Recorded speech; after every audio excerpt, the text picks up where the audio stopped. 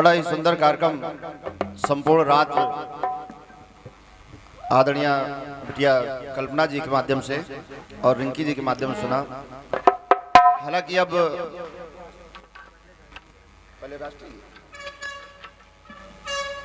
गाने की स्थिति वैसे बची नहीं है, लेकिन हमारे बजे बड़े बुज़ुर्ग ही हमें शक्ति प्रदान करते हैं। क्योंकि वो दिन, वो घटना आज भी मुझे याद है, जो प्रत्यक्ष रूप से मैं वहाँ पर देख रहा था। शाम को आठ बजे मेरे पास फ़ोन आया और इसके बाद निरंतर फ़ोन आते रहे। किसी ने कुछ बताया, किसी ने कुछ बताया। लोग यहाँ आ रहे हैं, लेकिन आने वाले तो आ गए। ना आने वाले वहीं रह गए। जब ये मालूम पड़ा कि आने वाले आ गए तो हमने कहा, आने वाले आ गए, उनके साथी भी आ गए, लेकिन वहाँ कोई नहीं रहा। ये परिवार पूरा वहाँ पहुँच गया रात में ही। मैं और आदरणीय श्री लालमन चंचल, दो व्यक्ति, सुबह पाँच बजे यहाँ से कानपुर से रवाना हुए। हमने कहा, यहाँ की स्थिति जो है वो ठीक है, लेकिन वहाँ की स्थिति देखनी बहुत ज़रूरी है। लेकिन वहाँ पर हम अपने आप को नहीं संभाल पा रहे थे, लेकिन यही पिता हमें शक्ति दे रहे थे, जिन्होंने उंगली पकड़ करके चलाना सिखाया हमारे अनुज को। उन्होंने हमें वहाँ शक्ति दी कि प्रभु का लेख है, प्रभु जो करता है अच्छा करता है, लेकिन ये माया है, माया में बेटा हम फंसे हैं, आप फंसे हो। लेकिन जो ईश्वर करता है वो ठीक ही करता है, उसके आगे हमारी आपकी किसी की नहीं चलती। तो ये शक्ति तब भी आपने दी। निरंतर आज तक मुझे वो आप शक्ति प्रदान कर रहे हैं। पहले श्रद्धांजलि मैंने लखनऊ में गाई थी। देश विदेशों में लोगों ने उस श्रद्धांजलि को सुना। और जिसने उस श्रद्धांजलि को जो मैंने गाई पहली बार लखनऊ में, उसने फ़ोन करके हमें बताया और वो भी अपने आँखों से अश्रुओं को रोक नहीं पाए। मैंने उनसे सवाल किया कि विचार करिए, आपका तो कोई है नहीं बउआ पांडे, लेकिन फिर भी इतना स्नेह प्रेम जिसने पैदा किया, जिसने उंगली पकड़ कर चलाना सिखाया, इतनी तालीमें दी, उसके हृदय से पूछिए, वो अपने हृदय में कैसे पत्थर रख करके जीवन यापन कर रहा है? खैर आइए श्रद्धांजलि गीत गीत हो जाए।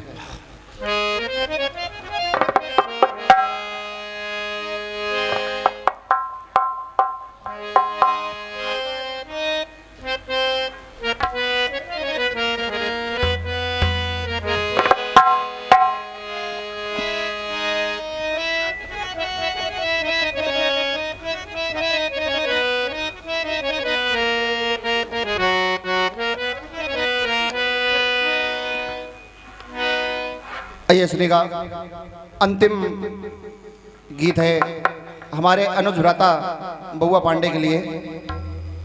दूसरी बार ये मैं श्रद्धांजलि गा रहा हूँ और मैं कितना अभागा हूँ जो अपने भाई की श्रद्धांजलि गा रहा हूँ। हमसे बड़ा अभागा कोई नहीं हो सकता। है या तो ईश्वर हमें कलाकार ना बनाता तब तो ठीक था। और कलाकार बना दिया। इसके बाद मैं अपने भाई की श्रद्धांजलि गा रहा हूँ। इससे बड़ा दुख का विषय मेरे लिए नहीं हो सकता है। लेकिन हमारे पिताश्री बैठे हुए हैं। बार बार लगातार हमें इन्होंने शक्ति प्रदान की। हर वक्त बस यही कहा, जो ईश्वर को मंजूर था, वो हो गया, हमारा आपका कोई बस नहीं है। आइए।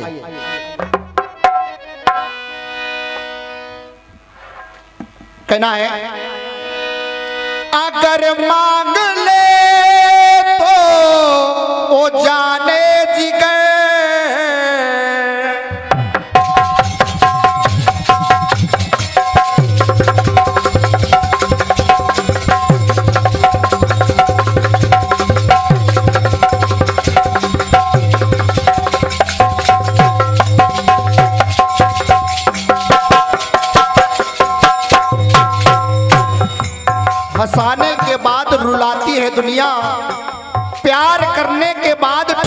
ठुकराती है दुनिया। आखिर कौन सी कसर रह जाती है इस ज़िंदगी में जो मरने के बाद भी जलाती है दुनिया? अगर मांग ले तू ओ जाने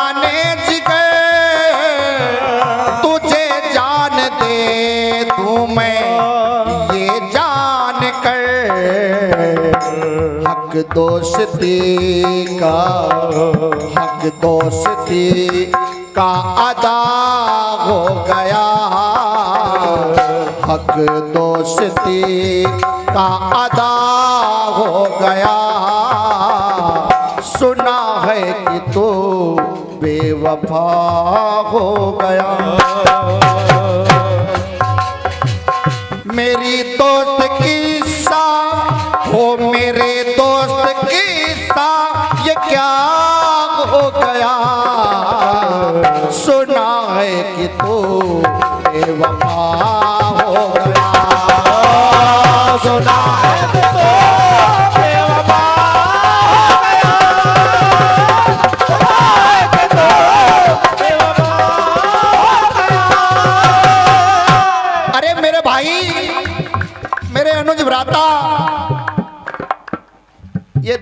मुझे क्यों दिखाए?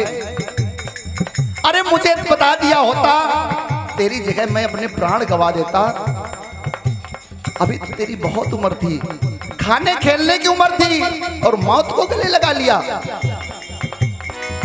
गया तू कहा है? वो कैसी डगर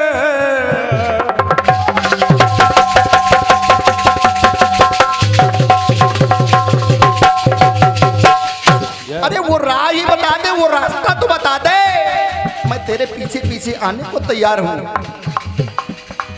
गया तू कहाँ है? वो कैसी डगर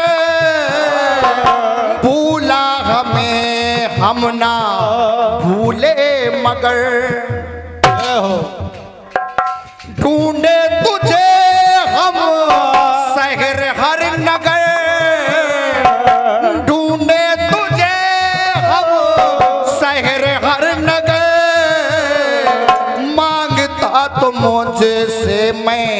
ये देता जिगर। और एक बार मांग के तो देखता कह को तो देखता। ये पप्पू परवाना तेरे लिए प्राण गवा देता लेकिन तू सुरक्षित बचा रहता। क्यों? नूर कीर्तन का नूर कीर्तन का कहा खो गया। नूर कीर्तन का कहा खो गया। भाई मुझसे जुदा हो गया।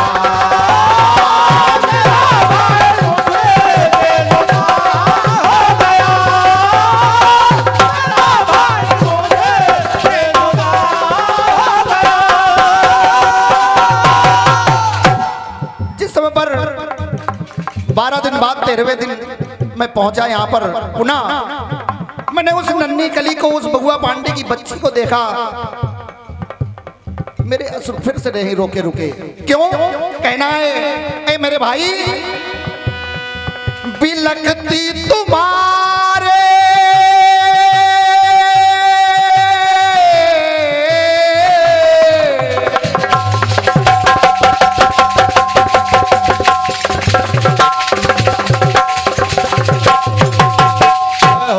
अरे मेरे भाई वो नन्ही कली। कुछ मालूम नहीं है। पापा पापा पापा। पोतली आवाज़ बुला रही है। बिलखती तुम्हारी वो नन्ही कली। पापा की अपनी जो नाजो पली। अरे वो मासूम बच्ची, उसे क्या मालूम? उसे आज भी नहीं मालूम। उसके दर्द को कौन बांटे? कौन बांट सकता है? पापा की अपनी जो नाचो पली, लेकिन भारी भी भारी थी जो मांग वो भी। अरे तेरे साथ एक जान तो और जुड़ी है, जो किसी के घर से लेकर के आया, वो भी तो किसी की बेटी है, वो भी किसी की लाडली है। बारी थी जो मांग वो भी किसी की लली। बारी थी जो मांग, वो भी किसी की लली। सोनी वो मांग मांग देख कर खली। मैं तो नहीं देख पाया। नहीं देख पाया। अरे उसकी उम्र ही क्या है? कैसे जीवन यापन कर रही है? उसका साथी भी चढ़ गया। सोनी वो मांग मांग देख के खली। सुना जिसने जब भी वहाँ रो गया। यहाँ भारत देश में नहीं, ये कीर्तन विदेशों में सुना जाता है। केस म्यूज़िक के माध्यम से विदेशों में लोग रो पड़े। सुना जिसने जब भी वहाँ रो गया।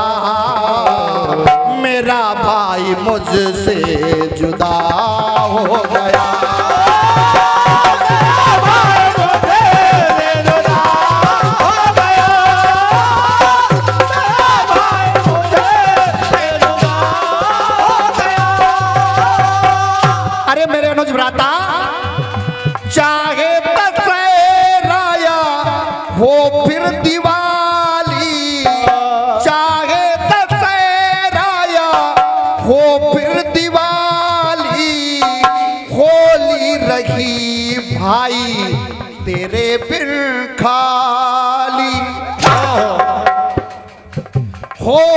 रही भाई, तेरे बिन खाली।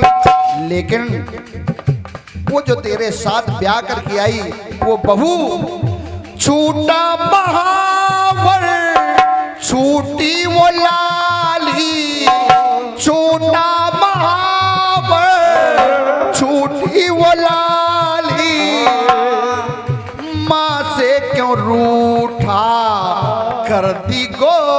खाली। अरे ऐसा माँ ने क्या कर दिया? तुम माँ की गोद खाली कर दी। माँ से क्यों रूठा? कर दी गोद खाली। पिता का ललन। हमारे पूजनी पिता श्री सियाराम पांडे जी पिता का ललन। वो कहाँ खो गया? पिता का ललन वो कहाँ खो गया? मेरा भाई मुझसे जुदा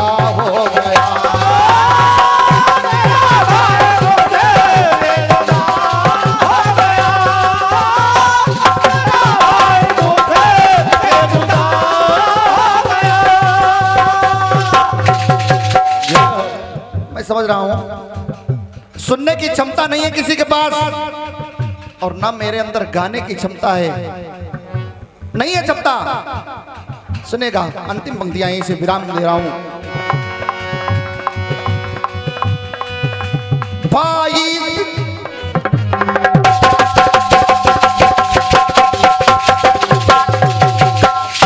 अरे जिस भाई को तुमने तालीम दी, जिसकी उंगलियाँ थिरकने लगी क्या उससे पूछा कि भाई मैं तेरा साथ छोड़ रहा हूँ? कैसे रहेगा? भाई तुम्हारा बिलखता रहा। अरे ये सचिन मेरा भाई, इसके हाल मैं जान रहा हूँ। नवस्ता गया मेरे पास। एक घंटे होश नहीं आया, अचेत हो गया। इसलिए, भाई तुम्हारा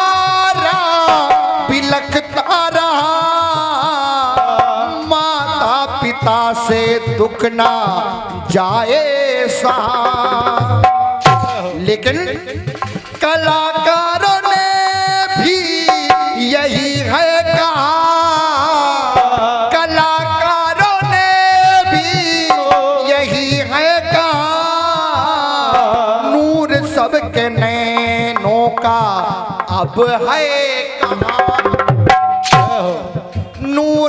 सबके नैनों का अब है कहा? परवान कैसे हाँ परवान कैसे फिदा हो गया। परवान कैसे विदा हो गया। मेरा भाई मुझसे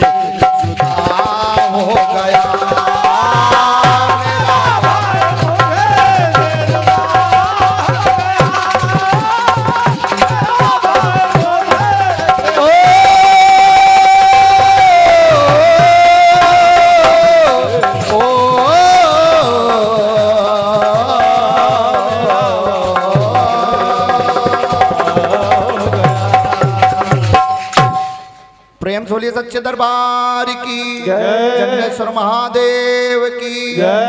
सरकार की। यहीं से। आज हम सभी ने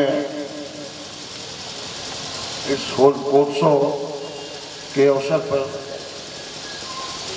और बाबा जंडेश्वर महाराज की कृपा से ये चौवनवा वर्ष इस मंदिर के कार्यक्रम का सफल हुआ।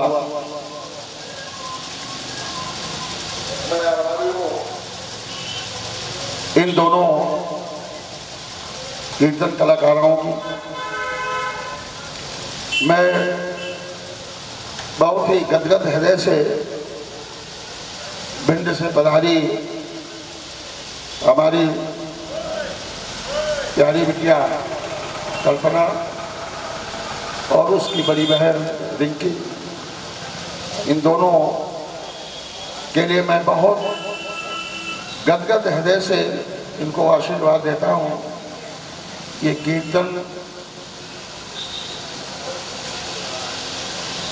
की दुनिया इसी तरह हरी भरी रहे। इसमें स्वर, संगीत, साहित्य, ज्ञान का समावेश होता है।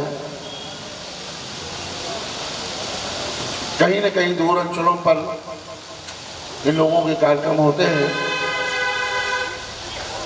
मेरे छोटे से आग्रह पर आप लोग दलबल के साथ आए और बहुत ही सराहनीय कार्यक्रम दिया है। तो मैं अपनी ओर से यही कहूँगा कि बाबा झंडेश्वर की इसी तरीके से कृपा हम पर बनी रहे। और जो कुछ घटना, दुर्घटना होती है, ये सब उन्हीं की मर्ज़ी से परमात्मा की इसी तरीके से व्यवस्था बनी रही तो आगामी वर्ष फिर होली होली का दूसरा दिन पर कार्यक्रम आयोजित होता है। मैं दोनों ही दलों से आग्रह करूँगा कि अगले वर्ष भी अगर मैं निवेदन करूँ तो आप लोग फिर हमारे बीच में आवें। इस आशा के साथ में इस विश्व हिंदू महासंघ के जिलाध्यक्ष हमारे परम प्रिय श्री विनोद शर्मा जी और जूना अखाड़ा के थानापति सरस्वती महाराज जी हमारे बीच में हैं तो मैं चाहूँगा कि वो आमे आज के इस कार्यक्रम के विराम की घोषणा करें और दोनों ही कलाकारों ने पुरजोर प्रयास करके कार्यक्रम दिया है। तो मैं चाहूँगा कि दोनों का सम्मान देके मेरे श्रद्धेय स्वामी जी आए हैं। ये अपने दो शब्दों में आज के कार्यक्रम के संबंध में कहेंगे, उसके पश्चात ये कार्यक्रम विराम लेंगे। बोली श्री सत्य सनातन धर्म की भाइयों, जैसा कि विगत हर वर्ष इस मंच की एक शोभा रही है कि यहाँ पर आज के कार्यक्रम का जो प्रथम और द्वितीय पुरस्कार उस तरीके का होता है लेकिन यहाँ की शोभा इन दोनों बहनों ने मिलकर ऐसी बनाई कि हम सभी लोग इस इस पर निर्णय ही नहीं कर सके कि कौन प्रथम है और कौन द्वितीय है। तो हम गत वर्ष की बात, इस वर्ष और अगले वर्ष इनको फिर आमंत्रित करता हूँ। तब तक के लिए इन दोनों बहनों को एक एक सांत्वना प्रथम पुरस्कार दिया जाता है। क्योंकि हम अनिर्णित हैं। हम अनिर्णित हैं, किसमें? प्रथम कौन है, द्वितीय कौन है? तो इसी शब्दों के साथ आज की संध्या के लिए आप सभी कलाकारों का हम हृदय से वंदन करते हैं, अभिनंदन करते हैं। जय जय श्री मैं विनोद शर्मा जी को आमंत्रित करता हूँ और मनोज निगम जी को बीच में से हटिए। बीच में से हटिए आप। हट जाओ हट जाओ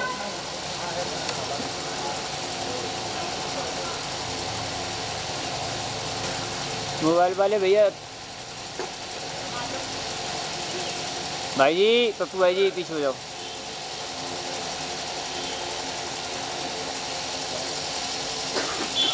दादा भी डबो वाली दादा आ जा अरे यार